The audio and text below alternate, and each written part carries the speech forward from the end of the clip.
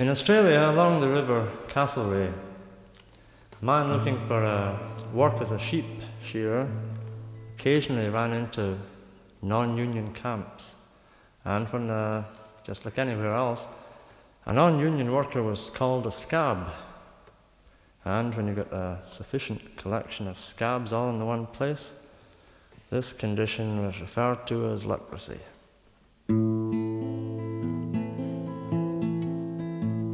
I'm riding down the Castlereagh and I'm a station hand.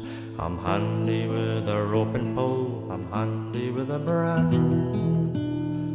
And I can ride a rowdy colt or swing the axe all day. But there's no demand for a station hand along the Castlereagh. So shift, boy, shift, for there isn't the slightest doubt. It's time to make a move to the stations further out. So I saddled up my pack horse and I whistled to my dog. And we made for up the country at the old jig jog.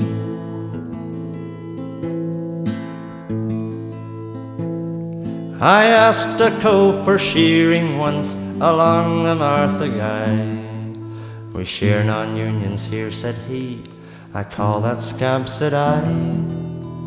I looked along the shearing board before I turned to go. There were fifty bloody scabbies there, a shearing in a row. So shift, boy, shift, for there wasn't the slightest doubt. It's time to take a move with the leprosy about. So I saddled up my pack horse and I whistled to my dog. And we made for up the country at the old jig jog.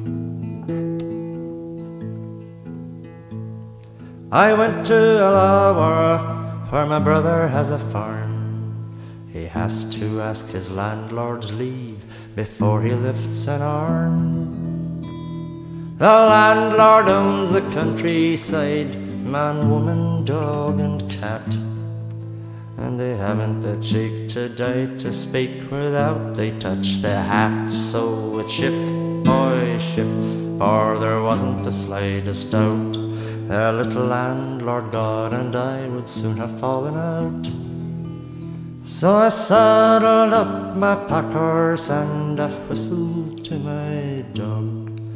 And we made for up the country at the old jig jog.